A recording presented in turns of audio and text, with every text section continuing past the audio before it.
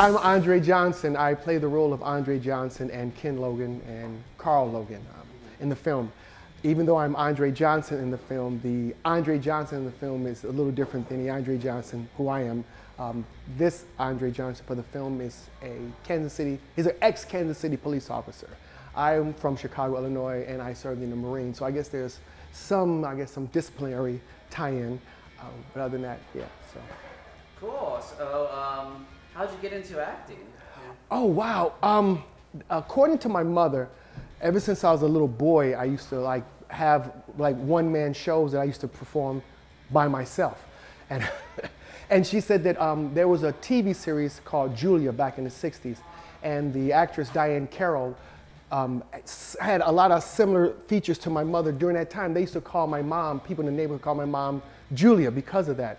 And that was a show that I watched. And apparently, um, one time the boy who played her son, Corey, was going to be in Chicago to like meet and greet and answer questions. And since we were about the same age, I went down there and he talked about being an actor, living in Beverly Hills. And I, apparently, I don't remember this, but according to my mother, I said to her, one day I'm going to move to Beverly Hills, become an actor, and buy you a house. So I haven't moved to Beverly Hills, but I bought her a house. So I, I, guess the most important part is there. And, I'm, and I'm, I've got some commercials. I've, I've been on TV.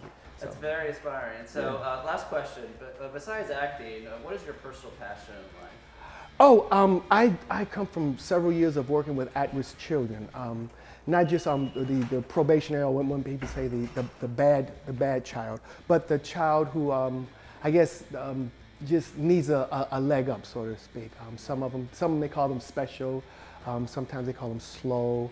Um, I, I, I, have a, an attraction to that, you know, I, and I guess because as the baby boy of five, um, I always felt that I had something to prove to my older brothers. So I always felt like I needed that leg up or I needed assistance. So now I, I take great deal of passion. And um, I was a great swimmer. Actually, I trained to be an Olympic swimmer for the 1980 Olympics, which was boycott. So I still swim. I, I, I still love the water. And what I do is because I let people know that this earth is like three quarters water.